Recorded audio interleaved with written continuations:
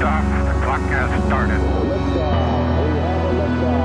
Roger, zero G, and I feel fine. Godspeed, John Glenn. Houston, uh, Tranquility Base here. The Eagle has landed. Rocket Tranquility, we copy on the ground. New possibilities are opening up for scientific cooperation between countries.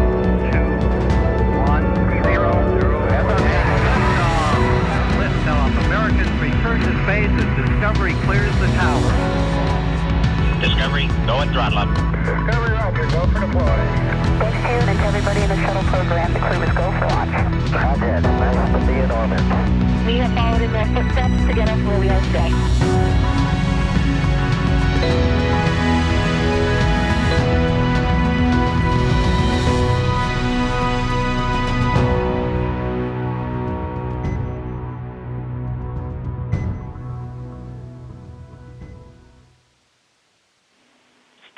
This is Houston. Are you ready for the event? Houston, this is the International Space Station. We're ready for the event. Copy that. We're also ready to, so uh, over to you.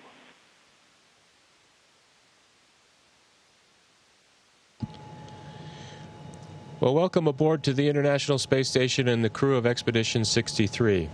It's an exciting day for us all as uh, we bid farewell to our two friends and colleagues, Bob and Doug, as they complete the uh, the journey of this amazing test test mission. It was roughly two months ago when we were right at this very hatch and, and greeted them aboard, and uh, and we we changed from a crew of three to a crew of five, and we executed two months of fantastic space station science and technical objectives with spacewalks and robotics that we're very proud of, and uh, we're very happy to have Doug, Doug and Bob be be part of that. It's uh, it's we're a little sad to see them go, but very excited for what it means to uh, our international space program to add this capability to bring people back uh, and forth to the space station in low Earth orbit um, with another capability such as the Crew Dragon.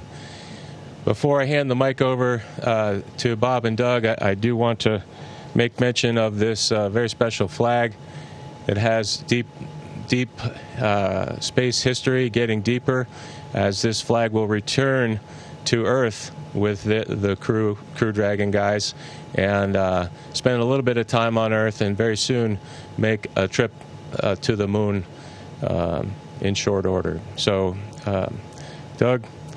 The flag's all yours. It's been a pleasure, and here you go. Thanks, Chris. Thanks for this. Uh, yeah, this flag has spent some time up here uh, on the order of nine years uh, since we dropped it off on STS 135 after it flew on STS 1. So, very proud to return this uh, flag home and uh, see what's next for it uh, on its journey to the moon. it's hard to put into words just what it was like to be a part of this expedition, Expedition 63. It'll be uh, kind of a memory that will last a lifetime for me. Just all the incredible teamwork and accomplishments, uh, with the highlights uh, obviously being the the four spacewalks that we uh, worked together.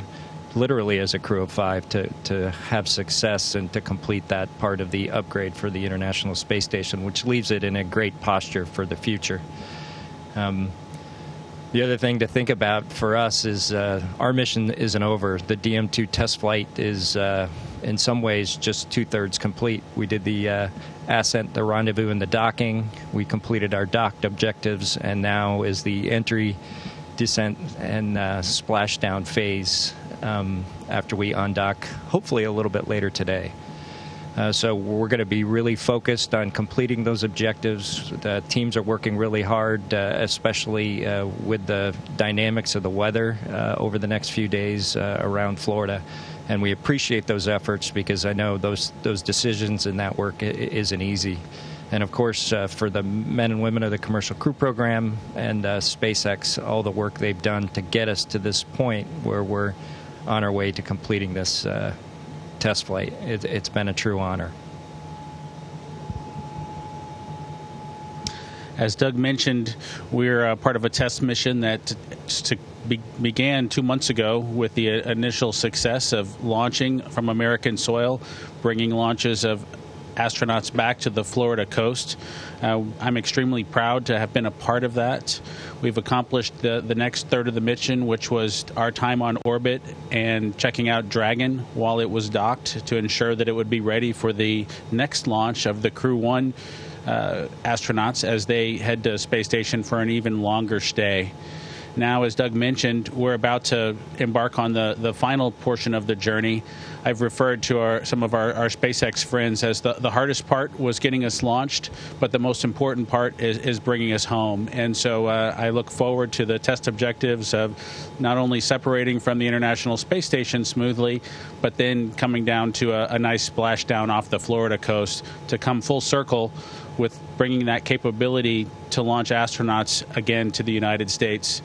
Uh, as I look back on the, the mission that we've had here on the International Space Station, I'm proud to have been a part of much of the science activities that happened over the last two months.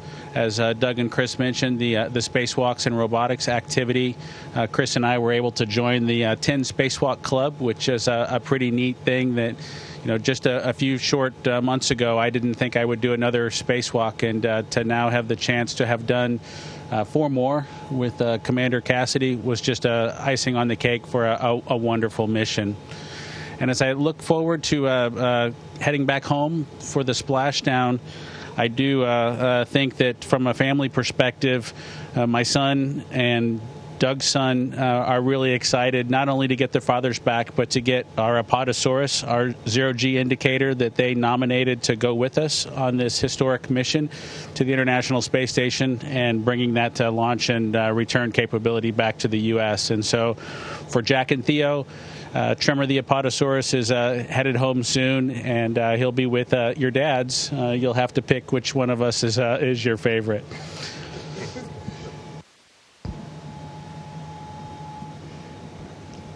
Speaking of uh, historic moments, uh, we were reminded fairly recently that uh, we're about at the 45th anniversary of the Apollo Soyuz uh, test project, and uh, which, of course, uh, was also the last time a, a U.S. spacecraft splashed down rather than landed on land.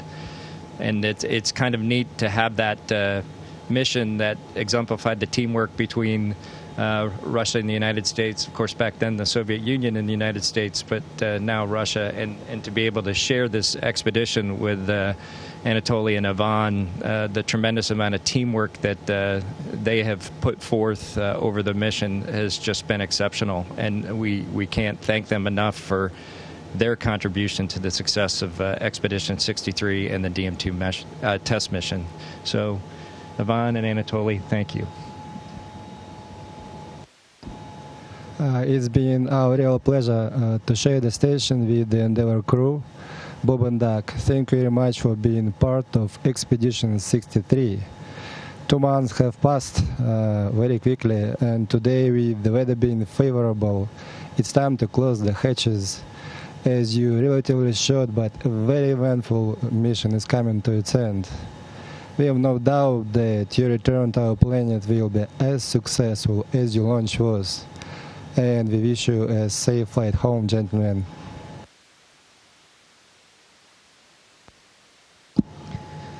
I'm glad that the Endeavour crew has been with us to, for two months.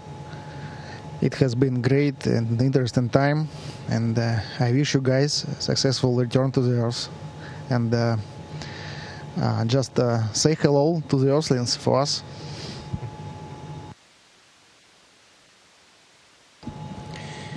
Well, that concludes our, our ceremony. Thank you very much for, for joining us on board uh, uh, the International Space Station.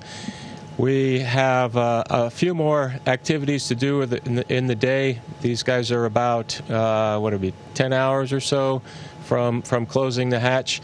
Uh, between now and then, we've got a little bit of downtime to rest, and then kind of after dinner, uh, we hit the ground running with uh, all the pre pre hatch closing activities and the actual undocking itself. So please stay tuned and and join us for that.